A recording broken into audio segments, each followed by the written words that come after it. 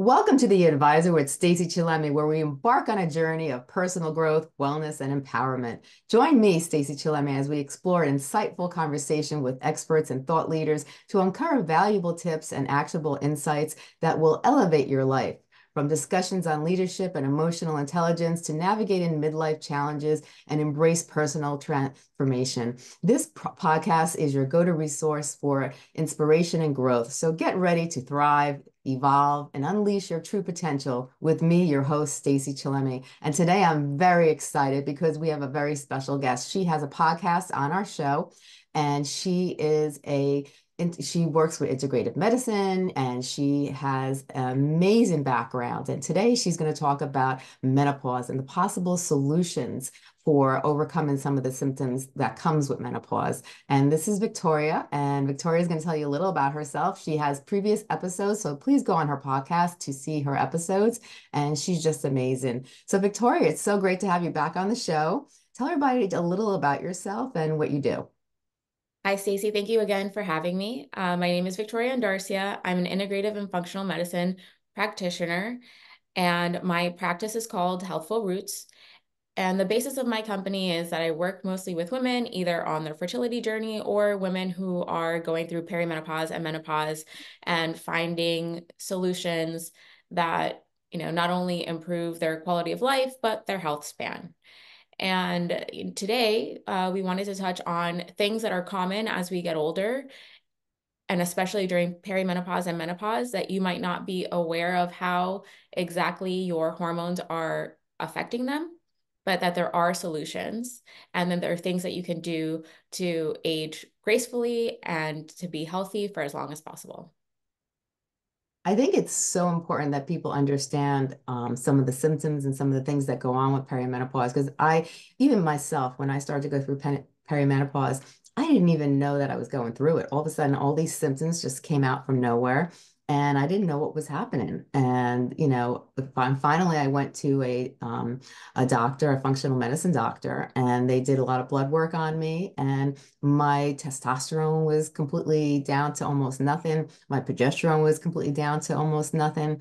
And with the help of a functional medicine doctor and going through hormone therapy and lots of other uh, different things that I did, they were able to balance my hormones and I felt I felt like I was 20 something else again. You know, it was like my I just had so much energy. I was my moods were, you know, balanced. I was more focused. I had clarity. I was just, you know, it was just a total turnaround in my health. So I think it's so important, you know, because a lot of times you know women are going through so many different changes you know um you know you, it's you're starting to gain weight you know a lot of times you experience you know um, muscle loss where you know all of a sudden you're looking in the mirror and you can go like this and it's like where did the muscle go you know and even people you know they experience osteoporosis it's it's it's just it's it's so um, you know, it's it's such a challenging time in a woman's life, you know, and even men, they go through it also, you know, in different ways. But, you know, for a woman, it's really hard. And, you know, I know that you have some great information today. So I'd like you really to share it with everybody because, you know, menopause is a, is a huge deal. And a lot of people just settle to do nothing and just, you know, just deal with it. And, you know, there are lots of options out there and they shouldn't have to suffer and, and experience these symptoms and, you know, and some people don't even know where to start and that's the problem too is like where do i begin? Who do i go to? How do i get help? You know what's going on? There's so many things to talk about today so i just love to hear what you have to say. Well exactly that right? This is about like empowering people to know uh, you know what to do and what to look for and you know you mentioned osteoporosis and you know that's one of the things that we've accepted as something that just happens with age however you know osteoporosis is weakening of the bones. And what people don't realize is that if you're older than 65 and you fall, you have a hip fracture, one in three adults over the age of 65 after that hip fracture will be dead within 12 months. Really? Pretty, the, like the numbers are pretty high. And then also you factor in that how your life changes after that. So we call it morbidity. And a lot of people will um, so I don't have the stats on that, but a lot of people end up having like loss of mobility and independence, you know, and a lot, half of the people will not be able to get back to their pre-fracture strength. Yeah. Right? So then you think, okay, well, if I'm over 65 and I have hip fracture, you know, I can potentially lose my independence, which is a huge thing. And or if I have a lot of other conditions, I can possibly, you know, pass away from this injury. But then when you look at when insurance starts to cover, in most cases, the um, DEXA scan, the DEXA scan is how you look at bone. It's Yeah. at the age of 65 or above, but it's too late then right? Mm. So then what are risk factors? You have to know what are your risk factors for osteoporosis? So one of them is like petite frame, so people who are just generally petite, uh, smoking, excessive alcohol use, family history. So if you have a family history, um, then that will go up. If you have been taking a lot of steroids, like if you have an autoimmune disease, or for example, if you have COPD and you, you know your doctor has been prescribing prednisone or methylprednisolone just for your flares, that can definitely increase your risk. Um, yeah, so those are the risk factors. So if you go to your doctor and you say, hey, like I have these risk factors, I need to be screened for osteoporosis, then what can you do?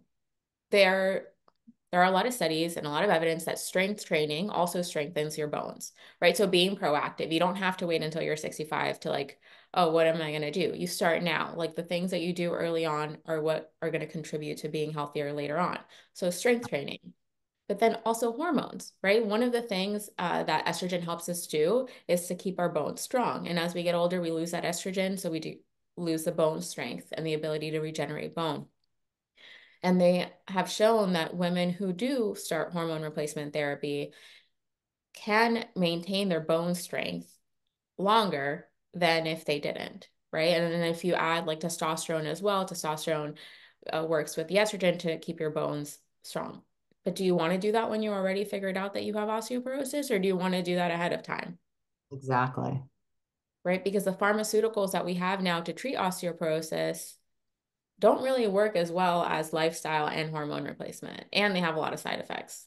Yes, definitely, a hundred percent. I, I, you know, I think that's the one, the greatest thing about functional medicine and integrative medicine is that they focus on trying to find the problem before it occurs. And I think it's so important for people to not wait till it happens, but to really, you know, keep track of how your health is. And then, you know, if, if things are starting to slide, and you usually can figure that out when people, when doctors have, you know, look at your blood work and they see elevations in certain areas or they see declines in certain areas, they can tell, you know, what the possibilities that can occur in the future if your your levels are still going like this. And that's when we can, you know, doctors and and and people in the medical field can like jump in and help and and try to prevent these things before it's too late. Exactly, because I think that one of the things that we do is that it's a lot harder in traditional medicine to correct something if it's already too late, right? And then I don't think that at least I didn't learn about this in medical school was talking about like supplementation, you know, are you getting enough vitamin D? Are you getting enough calcium in your diet? Vitamin D, a lot of doctors don't even check that, you know, because a lot of times insurance won't cover it as a preventative thing. But like Mhm. vitamin D is so important, not only for your bone strength, but for your immunity, for cognitive health, for so many other things. So you know, in, in that setting, it's, and I think you've mentioned it, you know, when we've had other discussions, is um, screening for nutrient deficiencies and how Mhm. much better you can feel when you address those nutrient deficiencies. Right. Yeah, you know, it, it's amazing. But when I when I had the blood work done and they they were screening me for vitamins and they were screening me for nutrient deficiencies, it was like there were certain areas that were low. And it was like, okay, you should be doing this, you should be doing this, you should be taking this. And and once I did that, it was just um just a huge difference in my energy level and the way I felt. You know, I wasn't fatigued anymore because there was a point where I didn't even want to roll out of bed, you know, because I was so fatigued. You know, I had chronic fatigue because I was going through hormonal changes and it played a big role in my overall health. Yeah. And, you know, one of the, the good things about the DEXA scan, if you pay for it out of pocket, you can find places where you can get it for $200 and $300, which is expensive if your insurance is not going to cover it. But I think it's better than like not having it at all. But the DEXA scan has the ability not only to look at your bone strength, but it can also tell us about um, visceral fat, which we'll get into how much visceral fat you have. But then it can also talk, like show you uh, muscle, like how much muscle does your body have?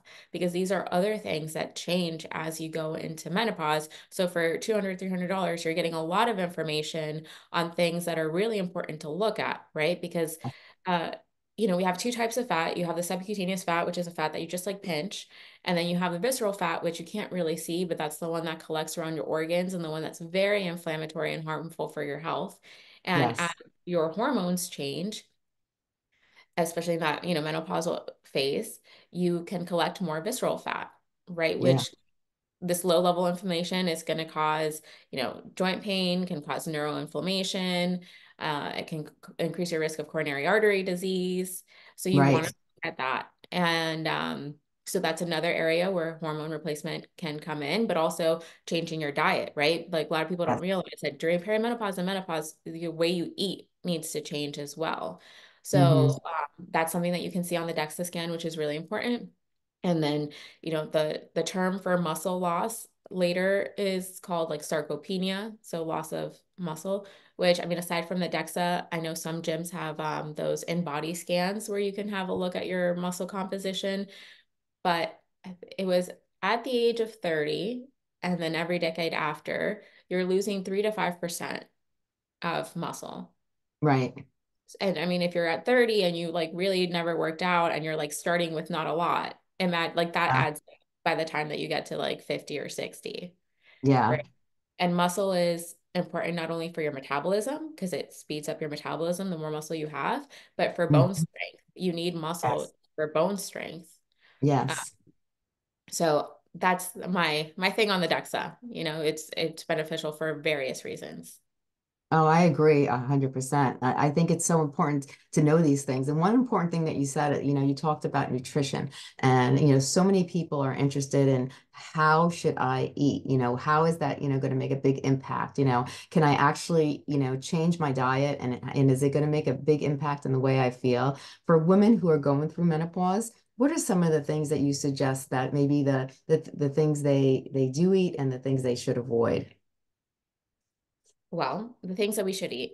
Um, I saw this reel on Instagram a couple weeks ago, and I was like, I didn't realize how much of my adult life I was going to spend thinking about how much protein I'm eating. Right. Yeah. Like, yes, because it's a hard thing, right? Like if you look at it's uh one milligram per um kilogram of body weight or one gram, one gram per kilogram of body weight is what you want right. for uh, protein.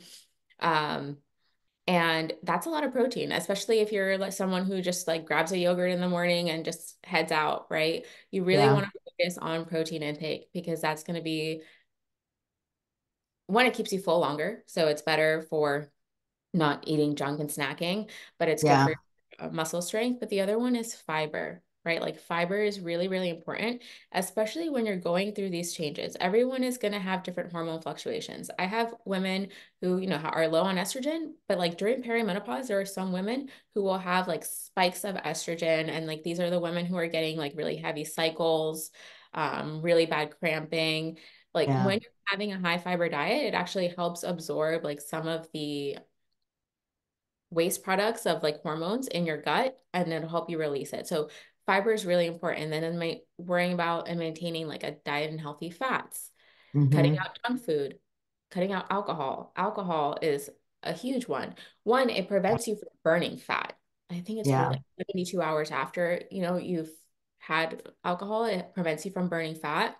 Then let's just not even get into how much it affects your sleep.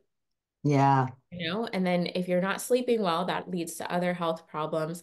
So I'm not saying like don't drink at all, but definitely be mindful. And then, yeah, you know, people say if you're going to drink, like don't drink like right before bed, try to do it a little bit earlier, maybe when you get home from work, because this effect on sleep is really, really uh, pronounced. And then the last one, which might not be super obvious, but I'm going to say is caffeine. I think that we overdo it a lot with the caffeine. And yeah. in that phase of perimenopause and menopause, I find that they are the most stressed, right? Like their kids are either like still in school or going to school or they're yeah. having some other life thing happening with their yeah. own hormonal changes. And yes. then you have to look at how stress is also going to impact these hormone levels. And then if you're constantly like drinking caffeine throughout the day, it actually makes you more tired. Yeah, it does. hmm It's so true.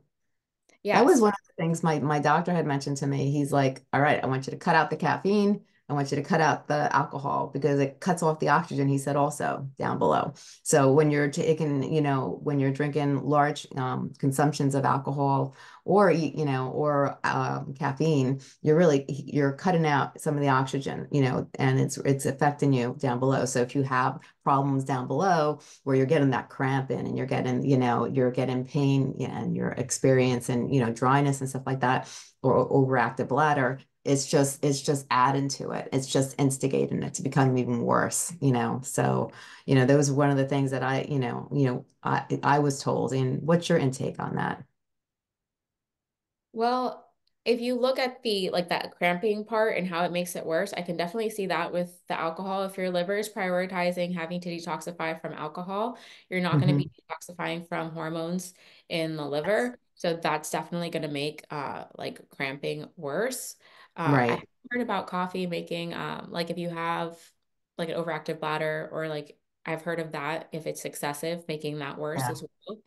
Um, hmm so I definitely think that in that way too, uh, can definitely impact. Yeah. I think a lot of people don't realize that because a lot of people, you know, as they get older, they go out, they have dinner, they have alcohol, you know, and the alcohol consumption sometimes increases as you get older for for some people. And, you know, these are things that I think play a huge role and, and especially when you're eating, you know, really figuring out the right foods. I know that when I incorporated more vegetables into my diet, I actually felt a lot better. It was that all that fiber and some of the proteins in the in the vegetables that made me feel so much better you know so i made it a, an, an, effort to eat more vegetables in my in my daily consumption in my daily diet and that Well, seemed to help a lot And I would even say, like, anybody listening, just to try it, right? Like, even in early in the morning, like, just try having protein, like eggs with either mushrooms or something like filling. You don't yeah I don't, when I eat those big meals, which are healthy and they're not like, you know, super high in calories, but just like high yeah, in nutrition, I don't snack really. I can wait until my next meal. But if I just like grab a croissant, you know, like, yeah like two hours later, I'm like, oh man, like, what am I going to eat now? You know, so it really makes a difference.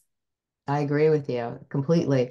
When I eat certain foods, I stay fuller for a longer period of time. I tend to, you know, and you could have more of those foods too. You know, if, if you're eating healthy foods, you're eating the right foods, you could actually eat a little bit more and it's not going to affect you. Because, like, I think weight gain is something you hear a lot of women complain about too, is that, you know, they're they're they're looking in the mirror and, I, I had this problem too, is like one day I looked in the mirror and and I was like, where did all this extra, you know, fat come from on my hips? You know, it's like, you know, my hips, my stomach. I was like, oh my God, you know, it's like, uh, and I hear women all the time, you know, they're, you know, certain, they gain weight or the weight, you know, goes to certain areas. You hear a lot of women complaining about their hips, you know, and about their stomach, gain weight on their stomach stuff like that. Is there anything women can do to help them with that weight gain during the times of perimenopause or menopause?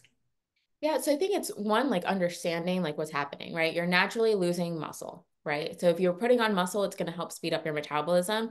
Um, so definitely focusing on strength training. Uh, you know, I love like high intensity workout classes, but they're not the best for you because they're actually putting your body into more stress and you're not building as much muscle as if you just focus on strength training. So focusing on that is important, but then also understanding that with this lowering of estrogen, you're also becoming more insulin resistant. That's why like I'll have women who are like 55, for example, where like I've never had high cholesterol, right? And like now like my sugar's high and I've never had high sugar. So with that decrease in estrogen, you're becoming more insulin resistant. Uh, and then, you know, if you have high insulin for a long amount of time, that's what causes diabetes. But my point in bringing that up is just like understanding that that's why you're getting, you're gaining the fat, right? Yeah. You're becoming more insulin resistant with that loss of estrogen. So then it's just like, yes, how am I going to change my diet? Intermittent fasting can be great, but it's not for everybody. For people who are super stressed out and tired all the time, do not do intermittent fasting because it's going to put more stress on your body. So then I would say focusing on the protein and getting the fiber at every meal, incorporating the strength training. But then I find also um, sometimes people are just like, I'm only gaining weight in my tummy, right? My stomach Mhm. area. And then when I do like cortisol tests to see, like these people have really high cortisol levels, which is like a stress hormone, right? Which was necessary. We need it. But if it's Right. high for a long amount of time, your sugar levels go up. It is also going to affect your um yeah, your sugar and your cholesterol, but then it's going to bring down the sex hormones even more. Yeah. So then it's finding ways to manage stress. And for some people, it can be different and it changes. I used to love meditation. I can't meditate anymore. So I go to yoga, you know, and it's like finding like the thing that is going to help you bring down your stress, especially during that time. Uh, Right. and for some women, because I've had it happen who are perimenopausal who start gaining that weight, it's telling them work out less, right? Because they're working out like six, seven days a week. That's not good either. Yeah. It can be as simple as like starting them on progesterone, right? And Right. their body starts to like recalibrate, and then like that weight will start coming off. Because some women have good habits already. Some people are already doing the exercise and they're already eating healthy, but and they're still gaining the weight. Then it's just like, okay, is it stress? You know, or is it hormonal? Let's like have a look at what's going on. Right, exactly. And that was like an issue for me too. It's like I my cholesterol, my cortisol level was always normal and then and, and then all of a sudden out of the blue it started to spike. And it was so hard to get that cortisol level back to normal, you know. I know there's a lot of women out there that that suffer from a high cortisol level, you know, especially when they're going through menopause. Is there like some things, you know, so is strength training is really good for the cortisol, yoga? And if you can do meditation, it's good. Are there some other things people can do to try to get that Yeah. cortisol level down? So, okay, so I would say it's like an Instagram trend, but it's true. Um, having Yeah. coffee on a empty stomach is definitely not good because you're every time that you have caffeine, energy drink, whatever, you're spiking your cortisol level, right? Right. So eat first or have tea and then have your coffee is important to like not to overstimulate yourself. And I find that um because I've done it, I went three weeks without drinking coffee and then I found that I didn't really need it. I was Yeah. Taste. So then I was like started to drink decaf because I was having issues with the cortisol thing.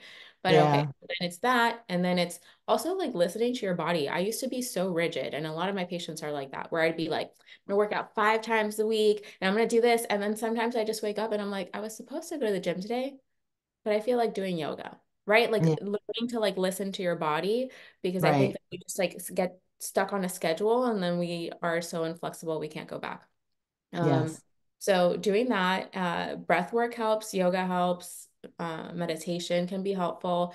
And then I there's this um it's Open House is a podcast, but she also has like this program where you do like somatic practices. So it's hmm just like it's Pilates, but with your breath work, or she'll do um like shaking, right? Like just there's Yeah. there's so many different things that you can you just have to find like what your thing is. Yeah. I think that's Yeah, and a bath is, you know, I, I tell people that all the time. You know, maybe a bath with a little Epsom salts that, you know, with lavender scent or something like that can like relax somebody. You know, if you could take 10, 15 minutes out, you know, maybe at night before you go to bed and just like relax in a bath, it, it could be so beneficial, I think. Yeah, and I think a lot of times too, people feel selfish because they're like, oh, like I have kids and I have to like do this.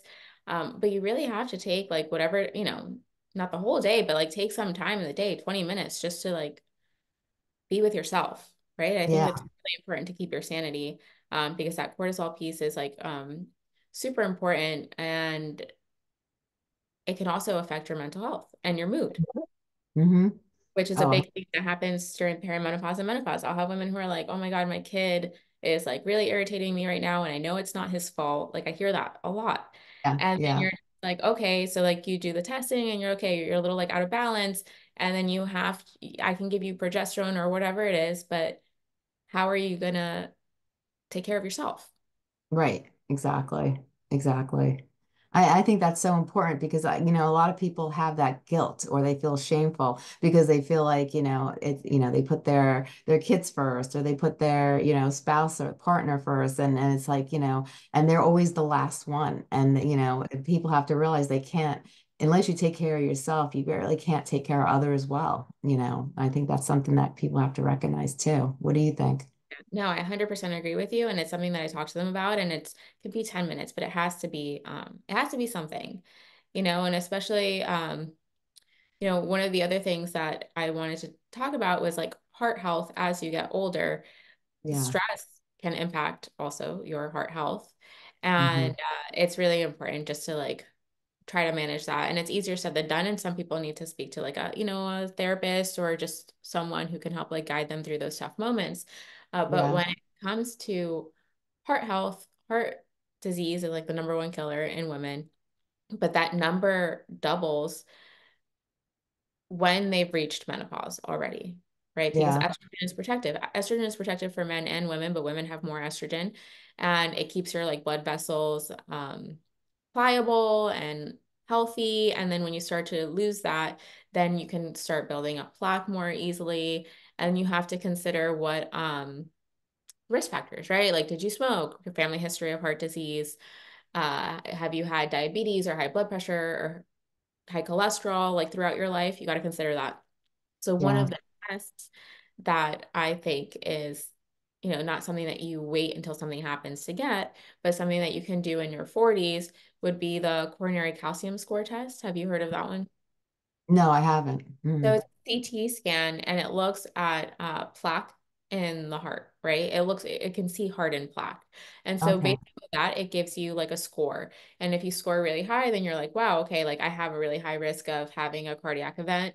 Or if it's low, then you know, like you're doing things right and you just continue on that path. Um, but that's like a good non-invasive way to know rather than waiting, especially if you have a family history of heart disease. I know a lot of times you see like um uh older people go for a test like that to and then some of them, you know, if they do have a lot of plaque, they end up getting stents put put in them and stuff like that. But it's it's probably better to go for these tests prior before you get to that point because I think it's 70%, uh, you know, um before um you could have a certain amount of plaque in your in your body and then it's it, it's you hit that danger zone pretty much. Right. No, that that's very true. And like for example, in my like my brother, we have a family history of um, heart disease tends to affect the men. I think at 30, I had him do that test. Okay, like do we have anything to worry about now? Okay, we'll probably do it again at 40. And then you can kind of just like keep track and see Yeah. what lifestyle things do we have to adjust, you know, like are you eating too many burgers and fries? Because for him it can be the case. Yeah. Um, you know, or like what do we have to change? But uh, I just think that that's a good uh, test and it's not expensive. Like I've had people pay for it out of pocket and you can get it done anywhere from like 75 to $100. Right. Um, so I think that that's um, just something to keep in mind because women do have a risk of heart disease that increases, especially during menopause. So I, again, just keeping um, track of your your plaque level and also by choosing the right foods. Food plays a big part of it too. If you eat healthy foods, you know, you won't have a buildup of plaque, you know, so rapidly, you know, uh, as you get older, it seems like, you know, even, even if it runs in the family, you could probably, you know, prevent it or slow it down by the the foods that you choose as well. Yeah, absolutely. You can mitigate your risk. And that's something that I've seen, like when I've worked in the hospital, that people will be like, oh, I'm diabetic and have a family history of diabetes. Not like not necessarily. No, it's just like habits are also passed down, right? Yeah. I think it's Yeah. About that. And I've seen people who have a very strong history of heart disease who then get to 80 and nothing happened because they were conscious of that and they decided that they were going to eat healthy and exercise and all those other Right. factors. So I think that that's also important because I have seen people just say like, well, it runs in the family. It is what it is, but it's it's not the case. Yeah, and that's something I've heard so many times, and it, and it kind of annoys me because it's like, you know, it's it's you know, yes, you might have it in your family, but you know, by the by changing the way you live and by changing certain things, you actually could prevent it or improve your condition. And people sometimes they think, okay, okay, it runs in my family, there's nothing I can do, you know, and it's like eh, there's so much you could do. And I think that that's like one of the reasons I went into functional medicine is like I was just so frustrated to see that things were preventable, but I don't know that like people feel empowered to do so or they don't even know that they can. And I, I really find that very frustrating when people are just like, well, you know, because uh, your life could be so much better. You can be so much healthier if you just knew what you had to do to do it. I find sometimes too is that when you talk to primary doctors, they frown upon function, functional medicine because they weren't taught it in in medical school, and because they weren't taught it, they they don't understand it or they don't have enough information about it that they could support it or recommend it unless you've gone, you know, unless you you've studied it and you understand the importance of functional medicine integrated with with with regular medicine, you know, and medical. And it, a lot of people just sometimes I think people fear what they don't know. But you know, functional medicine changed my life. I I did a total turnaround. It it helped me improve my health and my overall well-being completely. Yeah, and you know, I have uh, again like people who come to me and I, as like their last resort who've been dealing with stuff for years, and nobody talked to them about uh, food triggers, changing their diet, and then you Yeah. just do those things, address like nutrient deficiencies, and then they're like, wow, like I haven't been able to mow my lawn for years because I was scared that I was gonna pass out or something. And you're just Right. like, really, we just changed your diet. Like I didn't do anything crazy. Yeah. Yeah. A hundred percent. And I, I don't think people realize how easy it could be. You know, how you could just by making certain tweaks in your your lifestyle, you know, you can you can change your overall well-being. And and uh, you know, I, I think it's so important that we get this message across to people because and, and I think a lot of people are just like they just don't know where to go. They just don't know where to start. I think that's one of the problems too. Yeah, and when we're, talking about lifestyle, so the last one that I wanted to bring up because it's super important is dementia, right? Alzheimer's. So women hmm are times more likely than men uh, to have Alzheimer's. And Yes. there's a doctor called Dr. Lisa Mosconi, and she wrote The Menopause Brain, uh, hmm which is a great book for anyone who wants to read it. But she talks about how these changes, and it's not just the changes that happen during perimenopause, but anytime a woman goes through like drastic uh, hormone changes, so for example, like childbirth, like those just big fluctuations in hormones, um, they start to they can affect your cognition, right? And um, they're thinking that that's one of the reasons why women are at increased risk of uh, Alzheimer's than men. And then you add in if you're diabetic, if you have high blood pressure, all those things that they, on top of the fact that we're going to go through menopause and already at increased risk, then Yeah. those things will significantly impact your risk as well. So that's why it's so important for um, the lifestyle that we've been talking about because we want to decrease our risk of these, well, of dementia. Like that would be awful, right? Um, so that one is a really important one because it also comes down to like how you're eating, how you're moving, um, and how you're dealing with things in your life, right? How you're dealing with stress. What are some of the things people can do to help prevent the possibilities of dementia or Alzheimer's occurring in their in their uh in their life? So, I mean, you can do like the APO APO gene testing to see if you have the gene that increases your risk. Um, because I think that sometimes if you see that, then you're more likely to make changes that you need to make. But Yeah, again, it just goes back to uh, what you're eating, right? Um, alcohol. I think it's also one of the things that I focus a lot in my practice is um, toxins, right? Like what toxins are you being exposed to and how are you detoxing from these where it could be like environmental, or maybe you just like genetically are not someone who can like detox properly. How do you enhance those detox pathways? And then if you are diabetic or you do have high blood pressure, um, you know, what are we going to do about that? How are we going to mitigate that? Because uh, one of the things that people, because you can't feel blood pressure, you can't feel it right. unless for how you have a headache, is that people don't realize that you can be getting like little strokes um, like throughout your life. Yeah, so like, microvascular changes, it, what is it shows up as on the uh, scan on an MRI, and that over time is going to increase your risk of um, dementia. It's like I think number two, vascular dementia is what they call it. Um, so right, it's really important not just to be like, oh, I have high blood pressure or whatever. Like, what are your risk factors and how do we mitigate those? Um, I think it's important. And then they they have not um, said like, oh, use hormone replacement for prevention of dementia. Like that's not on the table yet. Um, but right. like knowing what I know, uh, I would definitely want to one, keep my hormones healthy as long as I can. And Yeah, just based off of all the things that we talked about, I would start hormone replacement as soon as, you know, I could. Right. Exactly. I, you know, I, I, I'm all for it. I, like I said, I've seen a huge difference and I, I feel younger. I, you know, I, I re, I have, you know, I have the energy and, and so many different things, you know, and, and I think for women too, their menstruation, you know, that was a, a big factor also is that I was bleeding for, for two weeks and I was bleeding heavily and I didn't understand what was happening. And that was in the beginning before I was put on hormone therapy. And then once I was put on hormone therapy, my, you know, these abnormal periods where they were coming, they weren't even coming on a 28 day basis all of a sudden they started, you know, coming on a 28 day basis.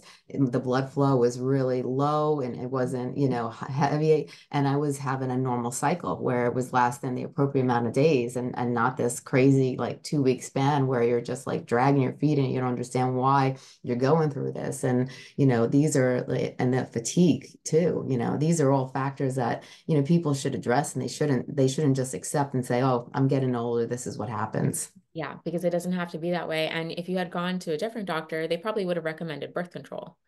Yes, and that's happened to me too. And I get annoyed. I'm like, no, I don't want to go on birth control. I am 52 years old. I don't need to go on birth control, you know. And they said, I, you know, I, I've I've come into like a, a GYN's office for certain things, and that's the first thing they say. And then they'll say, you know, well, how about a partial hysterectomy or a hysterectomy? And I'm like, that's the same look I I I gave them. I was like, this is ridiculous, you know. And then it was like, you know, and then when I went to see a functional medicine doctor, they he just shook his head and he was like, "What an idiot," you know. And it was just like, you know, and just by making certain changes and and using hormone therapy and by you know just doing different things, you know, they were able to get rid of all the problems that I was having. And, you know, because people don't realize that, you know, you hear birth control, there's so many side effects with birth control, and it doesn't really do anything. It doesn't really help. It might mask a couple symptoms, but it's not helping the situation. And then, uh, you know, if you do get a partial hysterectomy or you get a hysterectomy, you're going right into postmenopause. And that's a whole different area that we haven't even touched base on. But that, that, you know, that makes you feel a lot older and your body's not functioning the way it used to. So so it's like, yeah, even if you keep your ovaries. Yes. Mm-hmm. Exactly. And I don't think people are aware of that, you know, and they hear their doctors say that and they're like, oh, I don't have to get my period. Oh, wonderful. You know, and they don't realize the consequences that it's bringing as well. Yeah. And that's, um, you know, one of the things and one of the books, uh, The New Menopause and Dr. Aviva Romm, who I follow, uh, half of these procedures, that surgical procedures that we're doing on, on women are unnecessary. Like these hysterectomies yeah. offering, like you just started hormone replacement and it got better. If you start someone on uh, birth control at 50 because they're having heavy periods, what you're doing is that you're shutting down their body's ability to make their own hormones. And that's why the periods get better, right? Because you're not fixing the problem. You just like stopped the body from doing what it was like trying to do. Yes. Exactly, exactly. And then you also a lot of women experience weight gain also when that happens too. So it's it's it's not helping the situation. So I always would get annoyed when, you know, doctors, you know, would would, would offer that. And I feel like certain, you know, certain types of doctors just look in a triangle and they only have like certain options they could offer. That's why it's so good to go to like a functional medicine doctor or a doctor who believes in integrative medicine because they look at things from a totally different perspective. Because you know it, it's not just three options. You know that you know there's more ways to help your body, and and those to me, you know, a lot of times are unnecessary. They do those procedures, and you know, a, a woman didn't have to go through that. You know. No, no, and and the good. I mean, I the way I practice is sometimes patients will come with oh, like, what do you think about this? Okay, so we look at it, like, can this help you? Yeah, okay. Like, we work together to determine, because, you know, like I mentioned, not everyone's going to be comfortable with hormone replacement. Okay, so what can we do that's going to positively impact your hormones? And I've had women who don't want to be on um, hormone replacement, but we just change certain lifestyle things that we know that they're struggling with. We maybe add some things to their diet that can kind of help regulate their hormones and they yeah. feel better. Right. right because I think sometimes too people are like, "Oh, you don't want the birth control? You don't want the hysterectomy?" Well, okay. Sorry, I can't offer you anything else, but like no, um you got to work together to find a solution.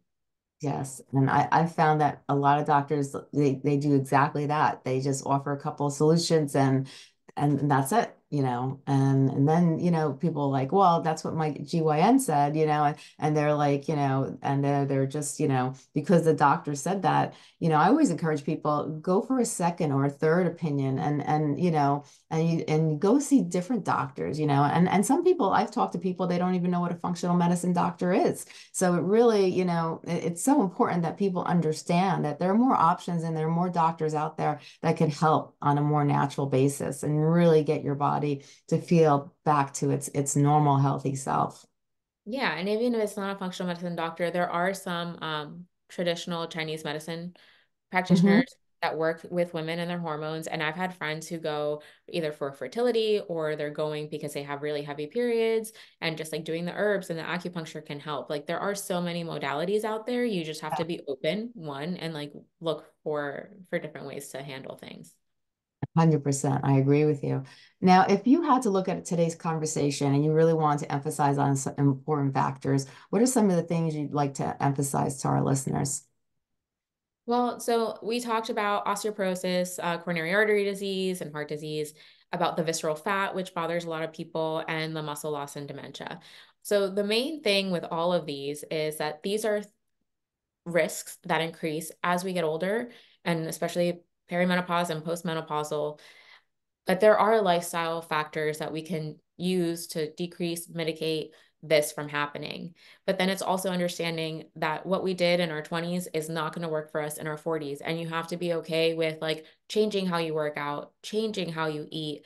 But then it's also the prevention, right? Like if you know that you already have risk factors and you're 35, what can you do to like mitigate those risks?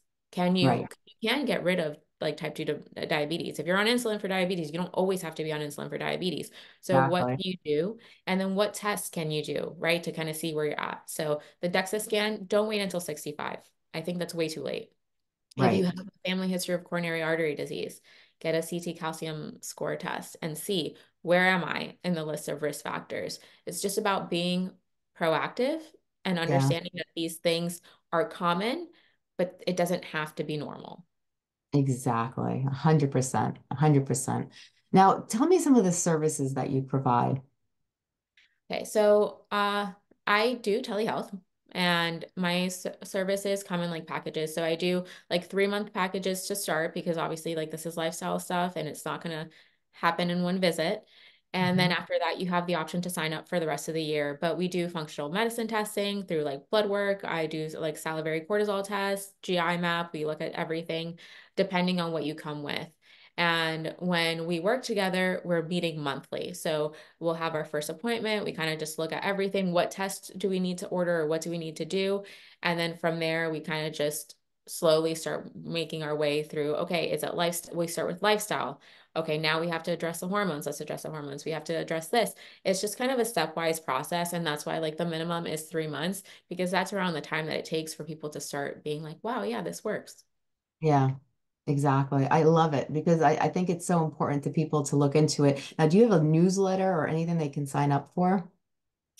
Yes, actually, um, it is in like my Linktree on Instagram. So I have an Instagram, I'm very active on that.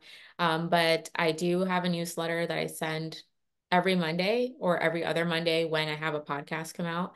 Mhm. Um, so that'll be there. And then I do offer a lot of free webinars.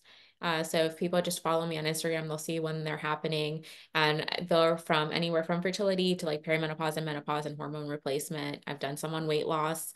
Uh, so if people just want to um, follow me at it's at Healthful Roots MD, uh, you can just see what's happening there because there's usually something going on. Oh, I love it. And also, where can people find you on your website? So the website is um, www.healthfulrootsmd.com. I love it. This has been amazing. Uh, You know, before we go, is there anything else that you'd like to uh, say to the audience before we go? Um, because this is, you know, something I think is so important for for people. They, you know, there's always so many questions, and I know one common question is, um, you know, that I get a lot from people is that their their libido drops during menopause. And, you know, that's like a big factor, I think, in in a lot of women. And is there anything that you'd like to, you know, maybe um, suggest or, you know, any advice you'd like to give about, you know, your libido drop in and, and the urge to want to have intercourse is, is not there like it used to be? Yeah, so that's a common one and it's complex. Um, so I'll say, I'll start with I do offer free 15 minute consults. So for anybody who wants to just like sign up on my Instagram, I have it there. But uh, that one is complicated because it can be like, are you having pain or discomfort with sex? Nobody's going to want to have sex if it's painful.